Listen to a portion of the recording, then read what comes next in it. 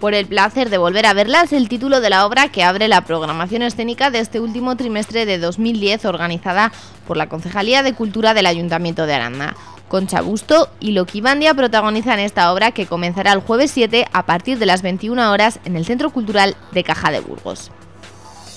La asociación en medio de abril comienza el jueves sus encuentros civiles bajo el título La reforma laboral y el derecho a la huelga. La cita se desarrolla en la sala pequeña de Caja de Burgos, entrada por la calle Empedrada a partir de las 20 horas.